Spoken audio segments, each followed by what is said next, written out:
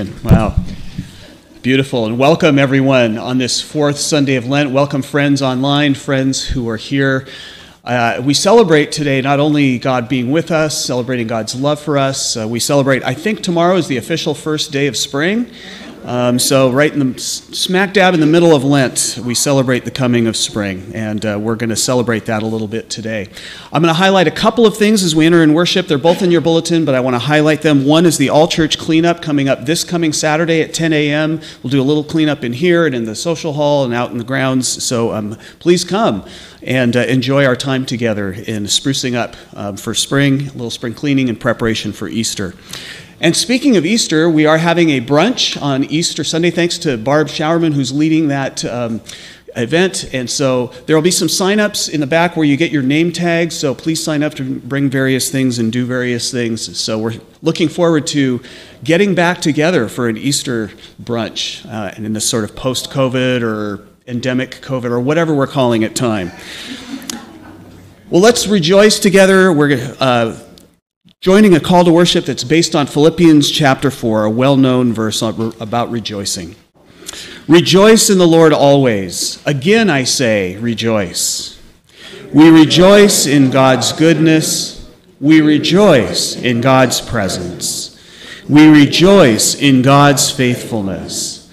We rejoice in the peace that Jesus gives. Come and hear God's invitation to trust and to participate in God's kingdom come on earth as it is in heaven. In worship, we offer ourselves to be renewed and to be challenged, to be blessed and to be sent as blessing, to open ourselves to the ever present reality of God's everlasting kingdom. And let's sing of that kingdom now. There's an insert in your bulletin and words on your monitor and on the screen.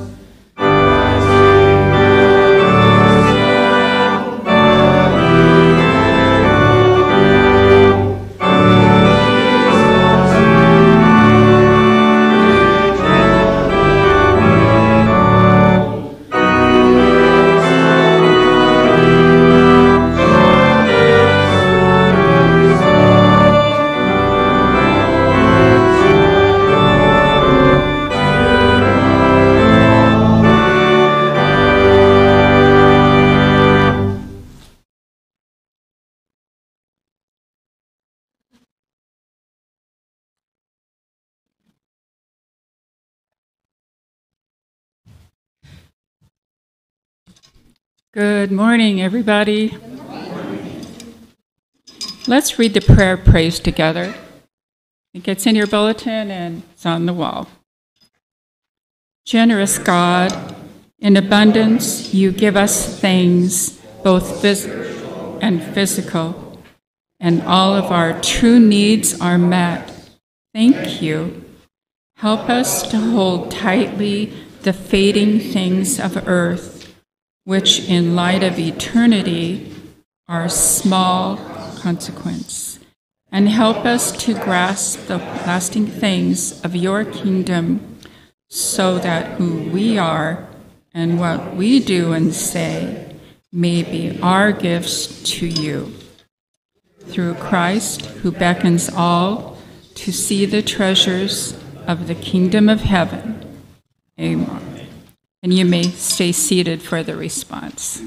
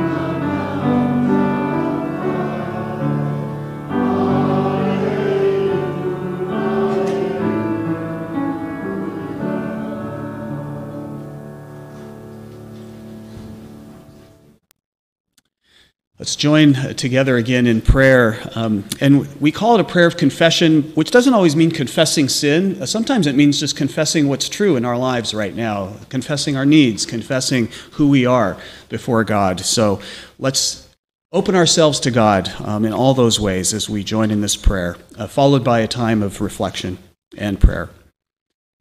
Loving God, in this season of Lent, we are reminded of our own difficulties and struggles.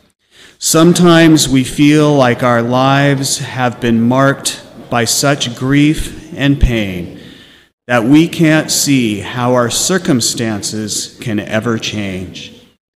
But in the midst of our weakness, we ask that you would be strong on our behalf. Rise up within us let your spirit shine out of every dark or broken place. Thank you that you are with us in whatever we face and that you are greater than any trial. We praise you, for you make all things new. In Jesus' name. Let's take a moment for our own personal prayers and reflection.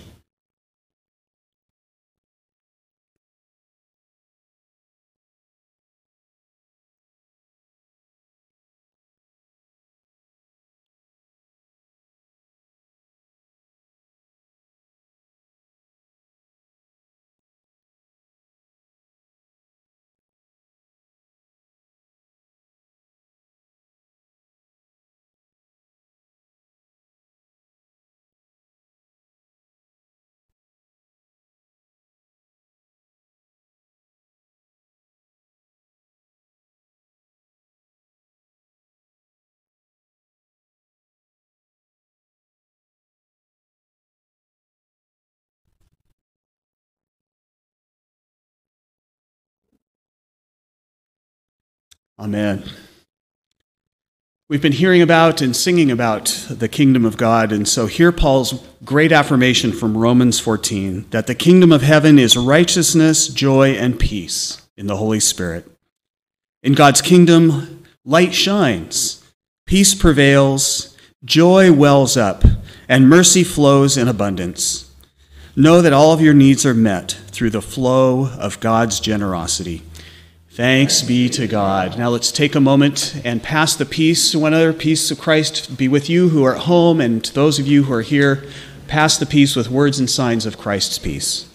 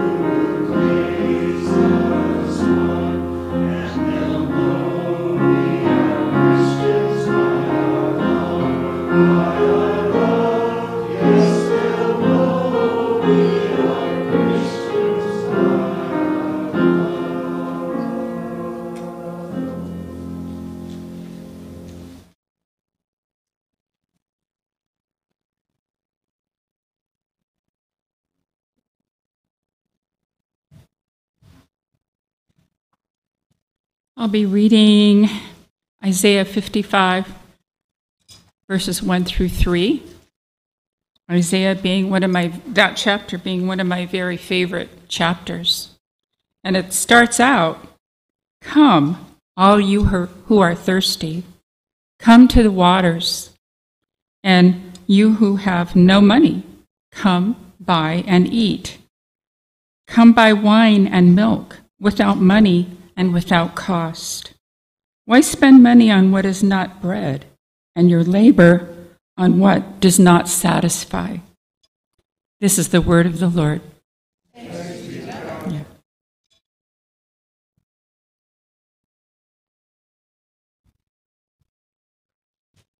Thank you, Linda. So, we, as we continue our um, series on the seven deadly sins, um, interestingly, the reading this morning from Luke's Gospel is what follows Jesus' teaching on the parable of the guy who built bigger barns. He prospered and he built bigger barns, and uh, which is a teaching and a warning about greed. Uh, interesting, the seventh of the deadly sins, which we'll look at after Easter. So, this is what follows that. And even though we're talking about gluttony this morning, this teaching from Jesus is so warm and so gracious and so encouraging. So, hear the good news from Luke's Gospel. He said to his disciples, Therefore I tell you, do not worry about your life, what you will eat, or about what your body, what you will wear. For life is more than food, and the body more than clothing. Consider the ravens, they neither sow nor reap, they have neither storehouse nor barn, and yet God feeds them. Of how much more value are you than the birds? And can any of you, by worrying, add a single hour to the span of your life? If then you are not able to do so small a thing as that, why do you worry about the rest? Consider the lilies how they grow. They neither toil nor spin. Yet I tell you, even Solomon in all his glory was not clothed like one of these. But if God so clothes the grass of the field, which is alive today and tomorrow is thrown into the oven, how much more will he clothe you, you of little faith? And do not keep striving for what you are to eat and what you are to drink, and do not keep worrying. For it is the nations of the world that strive after all these things, and your Father knows that you need them. Instead, strive for his kingdom, and these things will be given to you as well. Do not be afraid, little flock, for it is your Father's good pleasure to give you the kingdom. Sell your possessions and give alms. Make purses for yourselves that do not wear out an unfailing treasure in heaven, where no thief comes near and no moth destroys. For where your treasure is, there your heart will be also. This is the word of the Lord. Thanks be to God. Well, this morning's topic is gluttony, and before we go any further, I would like to define what gluttony is, or is not, lest some of us tune out thinking gluttony is not my issue. Because I think we reflexively assume that gluttony only has to do with food and eating, and that's not true. Gluttony can be defined as any form of conspicuous consumption or overconsumption in excess of what is needed for living, and often when it is done to fill an emotional or spiritual need. And this is why it's on the list. Like the other six of the deadly sins, it displaces love the love that God has for us and God's love in us, and the love we give for the sake of others. So, gluttony can include overconsumption of food, but that's not, not all that it is. Gluttony can include things like shopping or exercise, overconsumption of television or the internet, or, you know, these things we hold in our hands and in our pockets, you know, for example, in excess of needs or to fill a void. Gluttony can involve any of these things. It can be defined as excess consumption to fill the needs of life. Do you remember Imelda Marcos and all of her shoes? She had 3,000 pairs of shoes at one point. That's gluttony. And it's not always about food. Now, I'm sure that many of us at one time or another in our, our life have been to Las Vegas. There used to be, and I say used to be, it's not there anymore, but there used to be a sign on the road into Vegas that read, more women, more lust, more of everything. Vegas. now that's gluttony. More of everything. And that particular form of everything is particularly degrading to women in particular. Now, that's an exaggerated form of our cultural norm, yet it is a cultural norm, isn't it? More, more, more, which means consume, consume, consume. It's one of the ways that you and I are defined by government and business. We are consumers, right? We have things like the Consumer Price Index, consumer reports. We study consumption levels. Our economy runs largely on the consumption of goods and services. Now, that's not necessarily a bad thing on principle. The problem is that we are more often than not encouraged to want more, even when we don't need more. In business school at the University of Washington, I studied marketing and advertising, and to this day, I continue to have an appreciation for and a fascination with good and creative messaging. I also struggle with it on a corporate industrial level, advertising level, because we are so often encouraged to consume more and more things and experiences to fill emotional and spiritual needs that could be met, you know, in the Lord and in basic necessities. And if there is such a thing as a spiritual hunger out there right now, and there is, uh, uh, take it on faith, there's a deep spiritual hunger in our world right now and in our, our society. If it's there, it's because the consumption of goods and services has left a lot of people feeling empty and malnourished, spiritually and emotionally. You know, it's amazing to me, for those of us who spend time online, that our personal information is gathered and analyzed so that with great precision, products and experiences are marketed to you and to me when we log on to some of our favorite websites. These aren't generic ads that pop up on your screen, but ads that are targeted specifically to you and me based on demographic data about us, websites that we have pre previously visited, online shopping that we've done, or searches that we've entered into our search engine. It's very effective. Information is gathered and ads appear on your screen that are tailor made just for you. And it creates what I jokingly call the spawning salmon syndrome. Because salmon that are spawning upstream in a river don't need to eat, uh, they're on a mission. They, ha- they don't eat once they've left the ocean and enter a, a river to spawn. They have one singular mission. But if you dangle an attractive and colorful lure in front of their nose that flashes and dances around and presents itself as interesting, the salmon will instinctively snap at it. It's just their reflex to snap at it. And when they do, they're hooked, literally, and they've lost their mission. And that's what a lot of good marketing does it dangles interesting products and possible experiences in front of us, gets us distracted, and then we get hooked when we instinctively snap at what's being offered. Now, this has worked on me. I don't know about you, but for me, it's books. I search for one particular book online, or order one particular book that I want, and then Amazon says, hey, you might like this book too, right?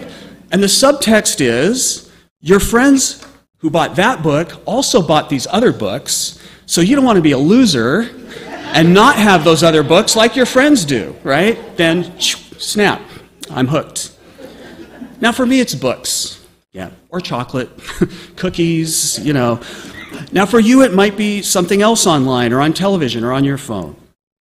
Gluttony is good for the economy, but it's bad for the soul. Because we do begin to worry about our life, what we will eat, what we will wear, or what will happen to, to us if we don't buy X, Y, or Z product. We get distracted from our mission. We get distracted from seeking first the kingdom of God. One of the side effects of gluttony is that it creates a carelessness of beauty a carelessness of beauty.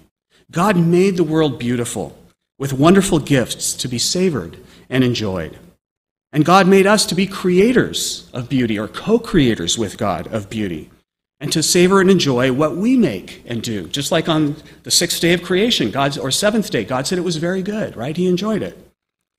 But if we're gluttonous, we are careless with the beauty of what God has given us and careless with our acts of beauty. One way i I think about this is that uh, our family has always had a dog or two dogs. Now, our daughter, who moved in with us, got a puppy a couple of years ago, and she has a dog. So we, we've always lived with dogs. They're wonderful, we love them, they're fun and loving companions, and they become members of the family. You, you know this if you have pets.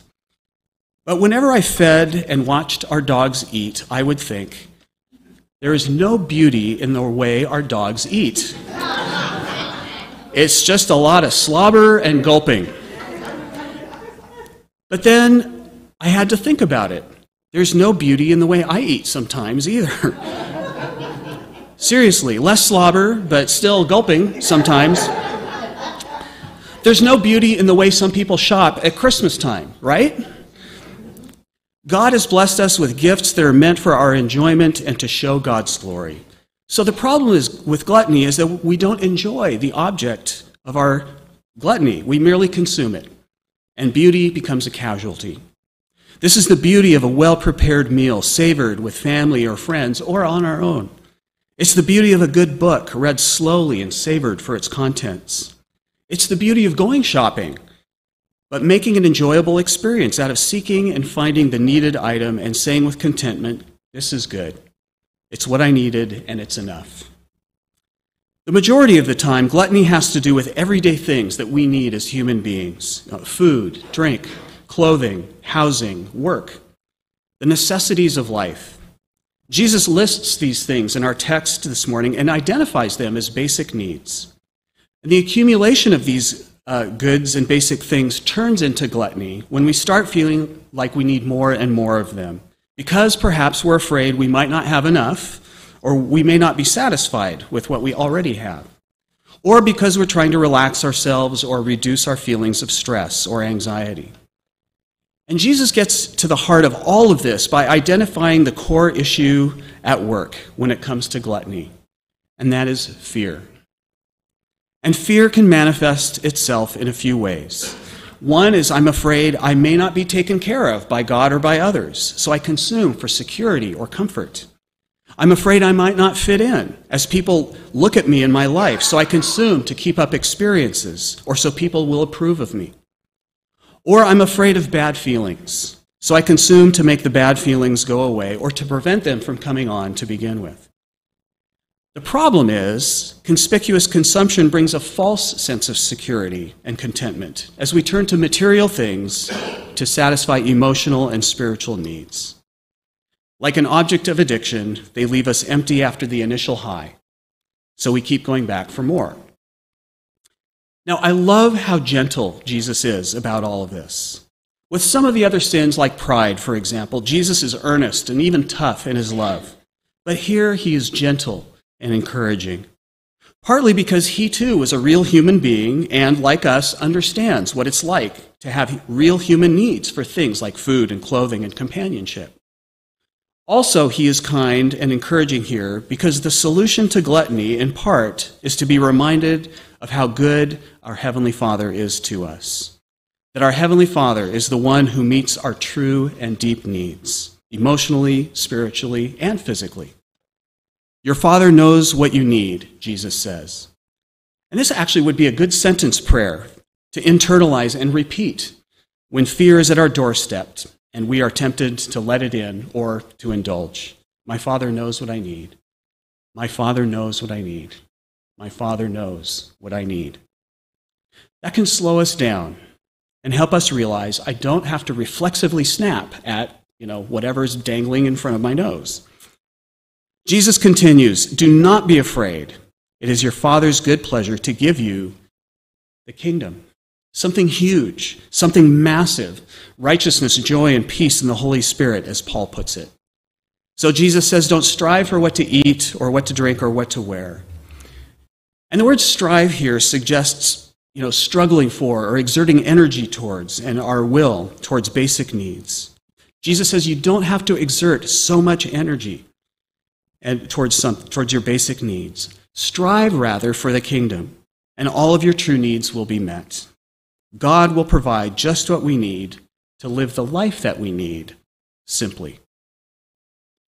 Jesus teaches us to pray, Give us this day our daily bread. So, in a way, he's saying, Help us to trust you, Father, for just what I need, just for today, one day at a time. And this is the great motto of recovery groups like AA and other recovery groups, right? One day at a time. It's so right on and so brilliant.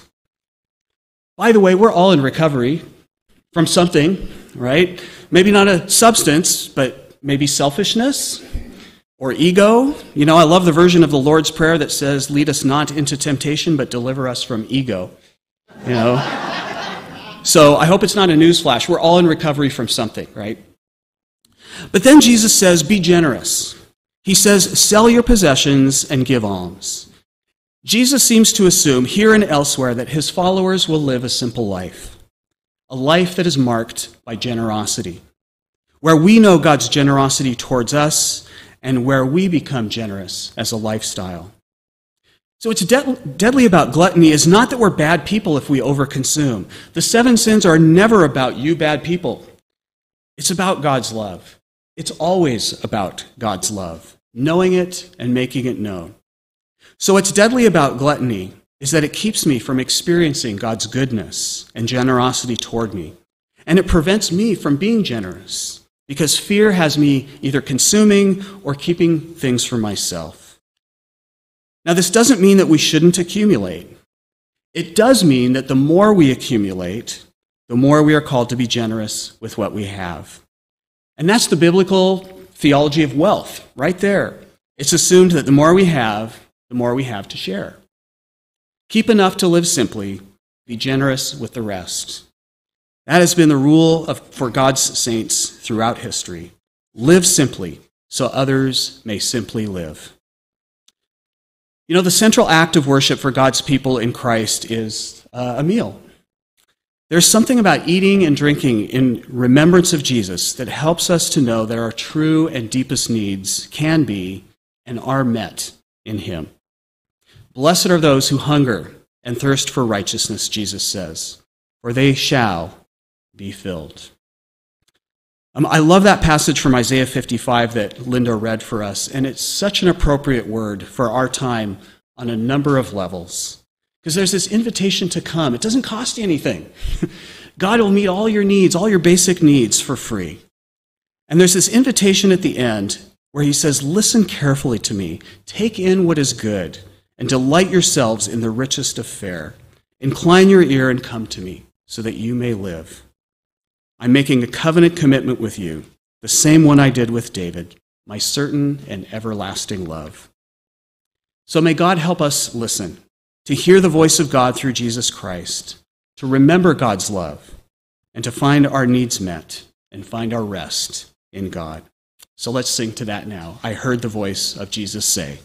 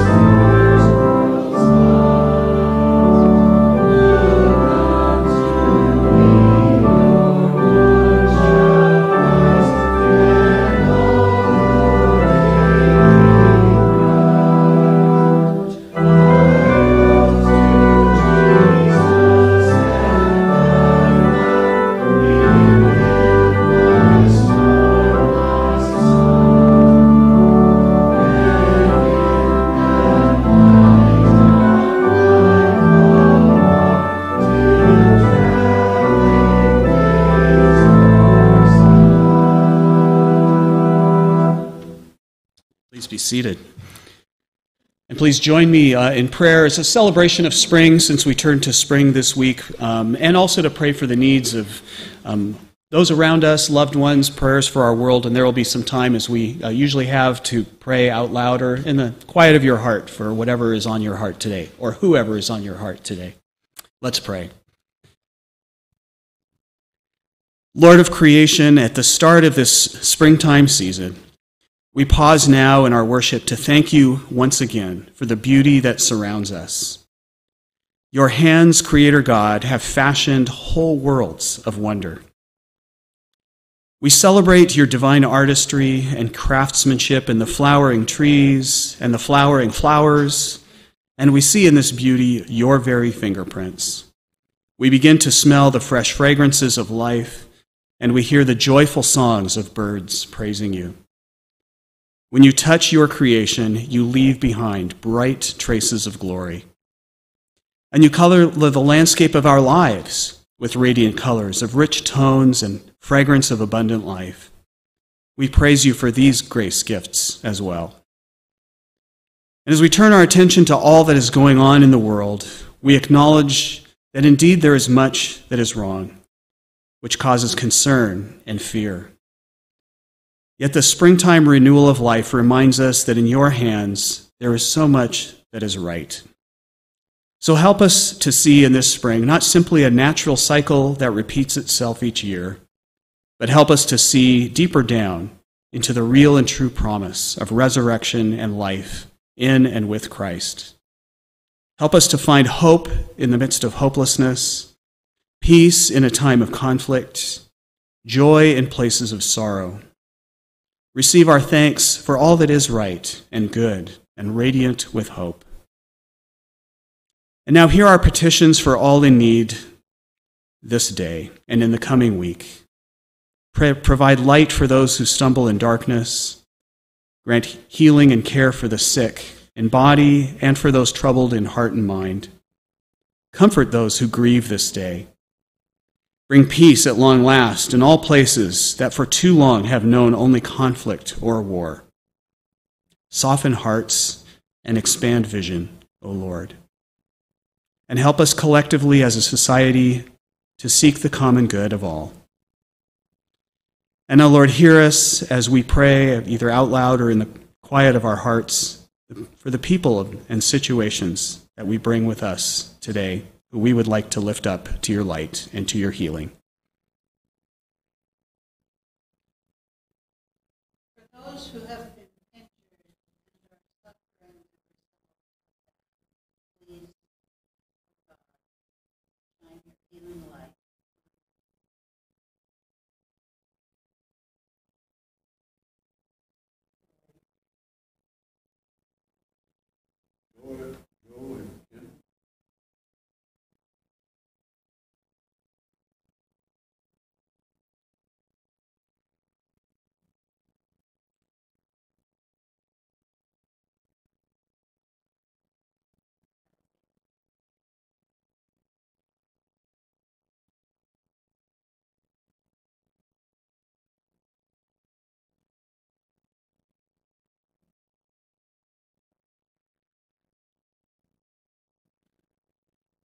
Gracious God, you created us in Christ for works of service, to be our way of life.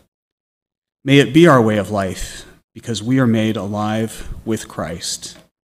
We pray all of this with gratitude and hope in the strong name of Jesus, who gave us this prayer to pray Our Father in heaven, hallowed be your name.